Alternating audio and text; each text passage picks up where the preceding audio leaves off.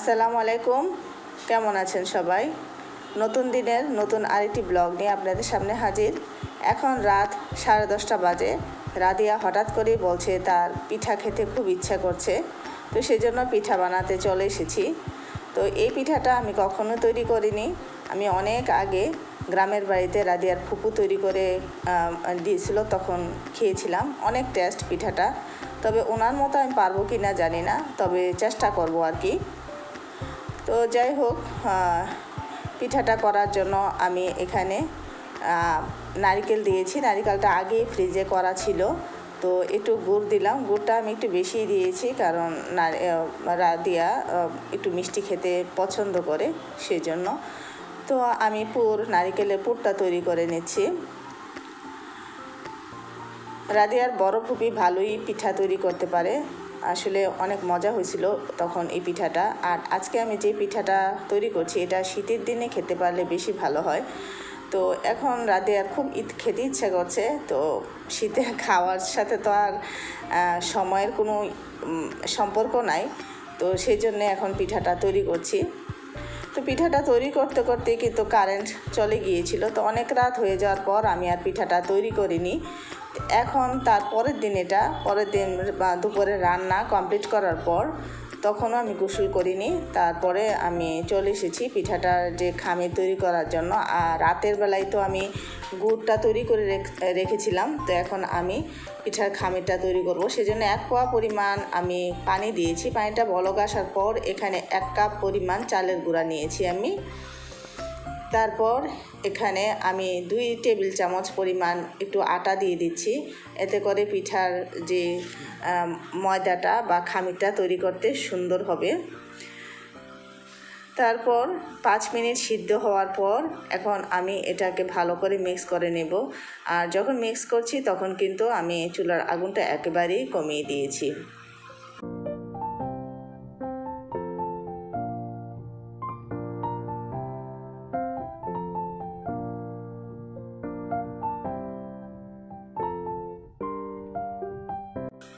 তো আমার এখানে মিক্স করা হয়ে গেছে। খুব ভালোভাবে মিক্স করে আমি পাঁচ মিনিটের জন্য ঢাকনা দিয়ে রেখে দিয়েছি।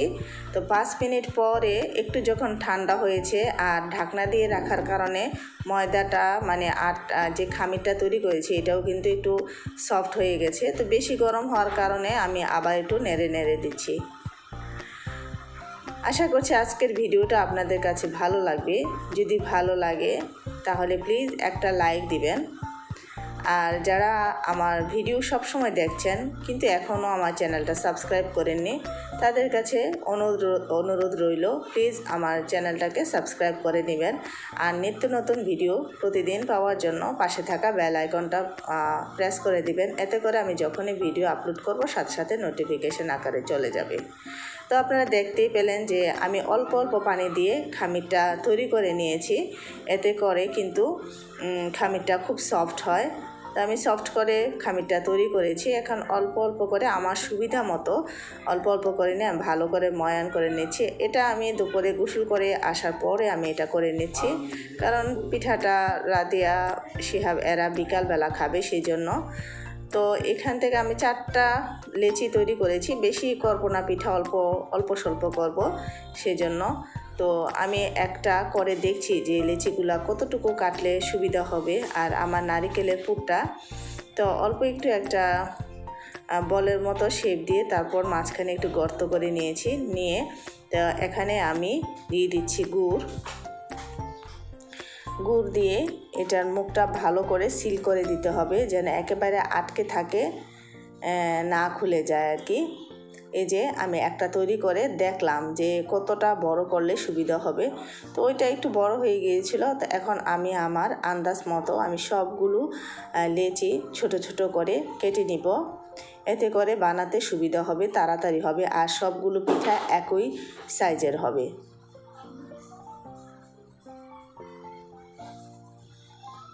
তো আমার সবগুলো লেচি কিন্তু কাটা হয়ে গেছে। তো আমি সবগুলো ডেকচিতে রেখে দিয়েছি।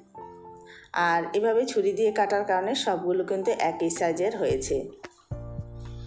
তা আমি ঢাকনা দিয়ে রেখে দিলাম যেন এটা ময়শ্চারাইজারটা ঠিক মতো থাকে। ঢাকনা দিয়ে না রাখলে কিন্তু বা একটা কাপড় দিয়ে শক্ত করে রাখতে হবে। না রাখলে কিন্তু মানে উপরটা ড্রাই হয়ে যাওয়ার সম্ভাবনা থাকে। তো আমি পাশে একটা বেলাতে আমি একটু তেল নিয়েছিলাম। তো তেলটা দিয়ে আমি যে বলের যে শেপটা সেটা দিচ্ছি। এতে করে সুবিধা হয়। পিঠাটা তৈরি করতে হাতে লেগে লেগে আসে না। তো পিঠার যে শেপগুলো দিচ্ছি, এগুলো দিতে দিতে মনে হলো যে আমরা যখন ছোট ছিলাম তখন অনেক খেলাধুলা করতাম কাদা মাটি নিয়ে। তো তখন দেখা যেত ছোট ছোট ডেকচি তৈরি করি এই কাদা মাটি দিয়ে। তো পিঠার শেপটা কিন্তু অনেকটা ওই রকম আর একটা খেলা খেলতাম, আপনারা অনেকে খেলেছেন কি না জানি না। ছোট ছোট কাদা মাটি দিয়ে ডেকচি তৈরি করে আমরা ঠাস ঠাস করে মাটিতে ফুটাতাম। আর সাথে সাথে একটা ছন্দ বলতাম, আটি না চাটি, না ফুটলে গুটি। তো এই পিঠাগুলো বানাতে বানাতে সেই মানে পুরানা স্মৃতি মনে পড়ে গেল। অনেকটাই দেখুন, ডেকচির মতো সেই এসেছে এটার মধ্যে।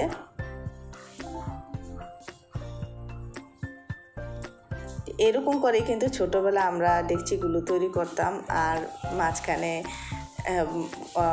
এটাকে ঠাস করে উল্টা পিঠে করে ফেলতাম ফ্লোরের মধ্যে। এতে করে ঠাস করে একটা শব্দ হতো।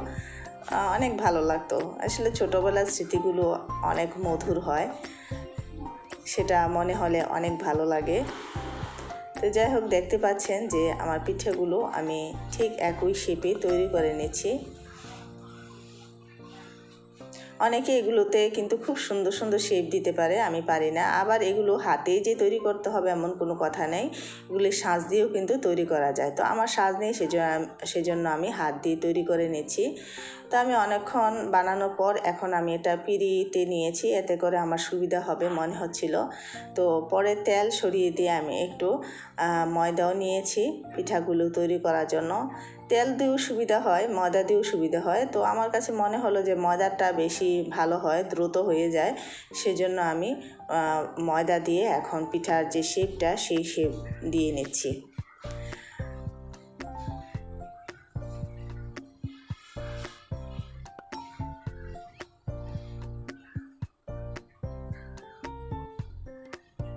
এই তো এভাবে করে আমি সবগুলো পিঠা তৈরি করে নিয়েছি। এখন আমি পিঠাগুলো একটু গনে নিব যে আমার পিঠা এখানে কয়টা হয়েছে। তো এখানে আমি সবগুলো পিঠা আমি গুনে নিচ্ছি। এখানে পিঠা প্রায় আটত্রিশ, আটত্রিশটার মতো পিঠা হয়েছে।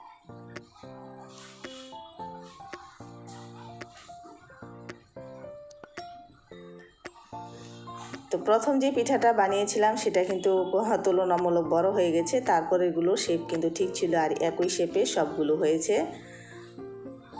তো পিঠা বানানো শেষ। এখন আমি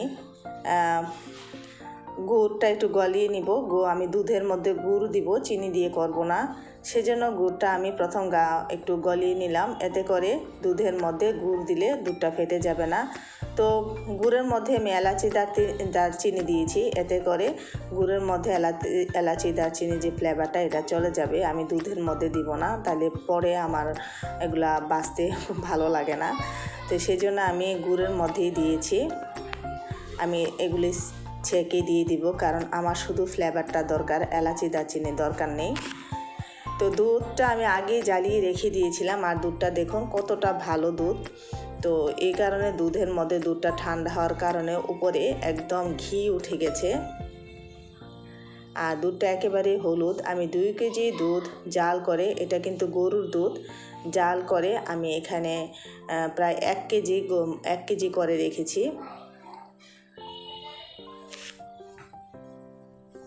তা দুধটা যখন আবার হালকা একটু গরম হলো, তখন আমি গুড়টা ছেঁকে দিয়ে দিয়েছি।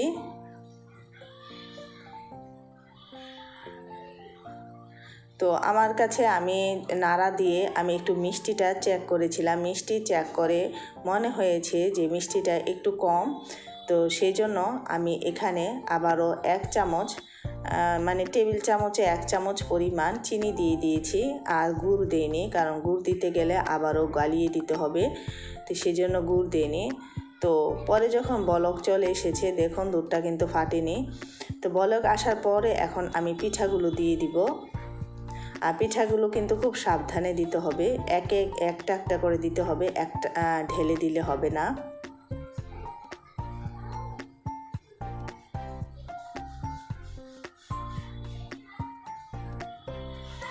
তো পিঠা দেওয়া হয়ে গেছে, এখন একটু নাড়া দিয়ে দিলাম। নাড়া দিয়ে এটা পাঁচ মিনিট সিদ্ধ করলে কিন্তু পিঠাগুলো হয়ে যাবে, কারণ যে খামিরটা, খামিরটাও তো আগে সিদ্ধ করা আছে সেই জন্য তো আমি পাঁচ মিনিটের জন্য চুলাটা একদম লোতে করে ঢাকনা দিয়ে রাখব, আর খেয়াল রাখতে হবে যেন বলক উঠে না পড়ে যায়।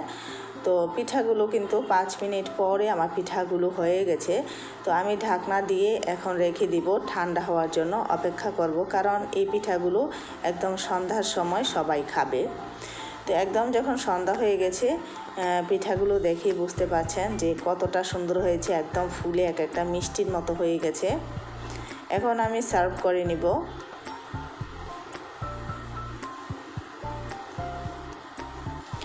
আর দেখুন কালারটা কিন্তু চমৎকার এসেছে। আমি এতটা আশা করিনি যে এতটা সুন্দর হবে। তো আলহামদুলিল্লাহ অনেকটা সুন্দর হয়েছে কালারটা। দেখতে অনেক সুন্দর হয়েছে। আর এই পিঠাটার নাম হচ্ছে দুধ পুলি পিঠা। তো আমি প্রথম ছোট একটা চামচ দিয়ে নামাতে নিয়েছিলাম, কিন্তু দেখলাম যে অনেকটা সময় চলে যাচ্ছে, সেজন্য বড় আরেকটা চামচ নিয়েছি।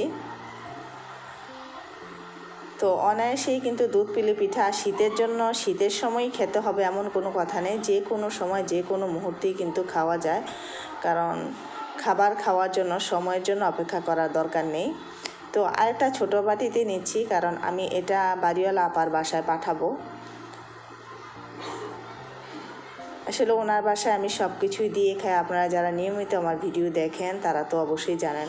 কারণ আপাও আমাকে ছাড়া কোনো কিছু খায় না, সেজন্য আমিও সবাই, আপাকে দিয়ে সব কিছু খাই। তো আমি এখন সন্ধ্যার সময় পরিবেশন করে নিচ্ছি। তা আপনারা দেখেই বুঝতে পারছেন। আর পিঠাটা যেমন দেখতে সুন্দর হয়েছে, খেতেও কিন্তু মাসাল্লাহ অনেক মজা হয়েছে। তো এখন রাদিয়া, শিহাব, তাদের পাপা, দাদু সবাই খেতে বসেছে। তো এটা কেটে দেখাচ্ছি যে দেখুন কতটা সফট হয়েছে, একদম মোলায়েম। আর মুখে দেওয়ার পরে একেবারে মিলিয়ে গিয়েছিল। মানে অসম্ভব মজা হয়েছে। আপনারা হয়তো দেখেই বুঝতে পারছেন কতটা মজা হয়েছে। তো খুব সহজেই কিন্তু তৈরি করা যায়। যখন মন চায় তখনই কিন্তু পিঠা তৈরি করে খাওয়া যায়। এটা শীতের সময় খেতে হবে, এমন কোনো কথা নেই। যখন মন চায় তখনই কিন্তু অনায়াসেই করে খাওয়া নেওয়া যায়। তাহলে আজকে এই পর্যন্তই। আর রাদিয়া শিহাবের খাওয়ার অবস্থা দেখেই বুঝতে পারছেন যে কতটা মজা হয়েছে, ওরা খুবই খুশি। তাহলে পরবর্তী ভিডিও দেখার আমন্ত্রণ জানিয়ে এখানেই রাখছি। সবাই ভালো থাকবেন, সুস্থ থাকবেন, নিরাপদে থাকবেন। আল্লাহ হাফেজ।